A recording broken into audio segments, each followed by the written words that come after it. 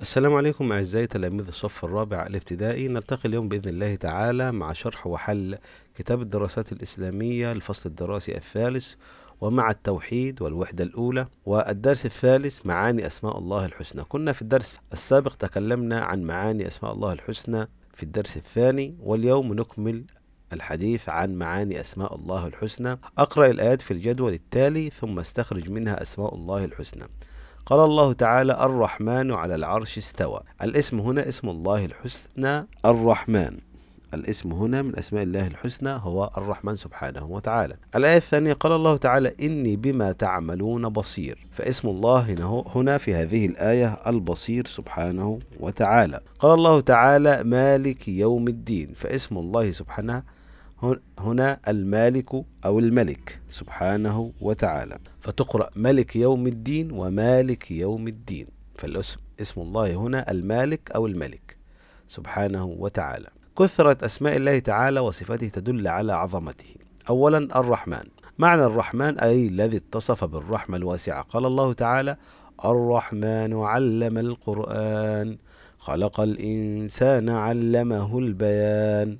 إذا رحمة الله تعالى واسعة. فمعنى الرحمن أي الذي اتصف بالرحمة الواسعة. من أمثلة رحمة الله بعباده أنه أرسل إليهم الرسل وأنزل الكتب عليهم لهدايتهم إلى الطريق المستقيم. من رحمة الله تعالى إنزال المطر. من رحمة الله تعالى أيضا خلق الإنسان من في أحسن تقويم. هذا من رحمة الله تعالى. إذا خلق الإنسان في أحسن صورة في أحسن شكل هذا من رحمة الله تعالى. أيضا من رحمة الله تعالى أن الله خلق لنا أو سخر لنا السماوات والأرض أن سخر لنا السماوات والأرض وما فيها أو ما فيهما. فقد سخر لنا الله سبحانه وتعالى الشمس والقمر الشمس تعطينا الضوء والحرارة القمر نعرف به منازل الشهر. كذلك سخر الله لنا النجوم لنهتدي بها في البر والبحر سخر لنا الله البحار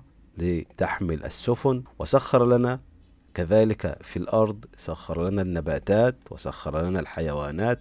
هذه كلها من رحمة الله سبحانه وتعالى. نشاط واحد بالتعاون مع مجموعتي أكتب أمثلة أخرى لرحمة الله بعباده.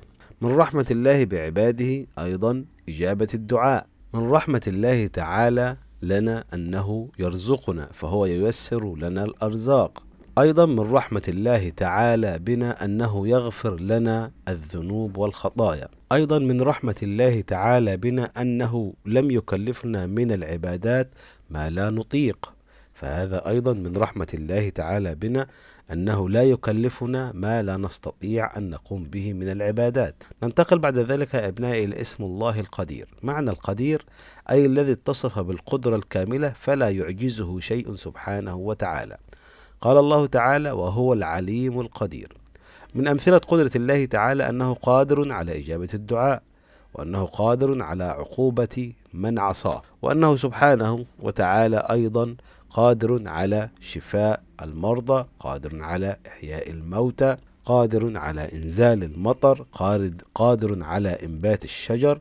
هذه كلها من قدرة الله سبحانه وتعالى. إذن هذه بعض قدرات الله سبحانه وتعالى أنه قادر على إحياء الموتى قادر على إنبات الشجر والزروع قادر سبحانه وتعالى على إنزال المطر وغيرها كثير من الأشياء. نشاط إثمان بالتعاون مع مجموعته أكتب أمثلة أخرى لقدرة الله تعالى. أمثلة أخرى ذكرنا أن سبحانه أنه سبحانه وتعالى قادر على إحياء الموتى قادر على إنزال المطر وأنه سبحانه وتعالى قادر على إنبات الشجر. ثالثا اسم الله السميع البصير سبحانه وتعالى. معنى السميع أي الذي يسمع جميع الأصوات الظاهرة والخفية. ومعنى البصير أن الله يبصر ويرى كل شيء. إذا السميع هو الذي يسمع جميع الأصوات الظاهرة التي يسمعها البشر العاديين والأصوات الخفية التي لا نسمعها كأصوات الحشرات وأصوات الدواب وما يجول في خاطر الإنسان ما يفكر فيه كل ذلك الله يسمعه. ومعنى البصير أن الله سبحانه وتعالى يبصر ويرى كل شيء فوق الأرض وتحت الأرض. يبصر ما في السماوات وما في الأرض وما في الملك جميعا. قال الله تعالى إن الله هو السميع البصير سبحانه وتعالى. نشاط ثلاثة أتأمل الموقف الآتي. دخل شاب الحديقة وأراد الجلوس فوجد العامل قد سقى الزرع ولا يزال مبللا. فلم يستطع الجلوس عليه فغضب منه وتكلم عليه بكلام غير لائق. ثم تذكر أن الله يرى ويسمع فاستغفر الله مما فعله للعامل. أذكر صفة من صفات الله وردت في هذا الموقف ورد في هذا الموقف صفة الله سبحانه وتعالى السميع والبصير. فهو يرى ويسمع أي البصير وكذلك صفة السميع له سبحانه وتعالى. إذا البصر والسمع له سبحانه وتعالى فهو بصير يرى كل شيء سميع يسمع كل شيء. ما واجب اتجاه العامل واجب احترامه وحسن معاملته. ننتقل بعد ذلك أبناء إلى التقويم. أختار من العمود باء بما يناسبه من العمود ألف. معنى الرحمن. الرحمن هو الذي اتصف بالرحمة الواسعة فهذه رقم واحد. إذا الرحمن هو الذي اتصف سبحانه وتعالى بالرحمة الواسعة. معنى القدير أي الذي اتصف بالقدرة الكاملة سبحانه وتعالى فهذه رقم اثنين. معنى البصير أي الذي يبصر كل شيء سبحانه وتعالى. معنى السميع هو الذي يسمع جميع الأصوات فهذه رقم أربعة. هكذا أعزائي نكون قد أنهينا هذا الدرس من أسماء الله الحسنى. ألقاكم بإذن الله تعالى في الفيديو القادم مع أثر الإيمان بأسماء الله في وصفاته في حياتنا. لا تنسوا الاشتراك في القناة ليصلكم كل جديد وادعمونا بالإعجاب. دمتم في أمان الله وسلام الله عليكم ورحمته وبركاته.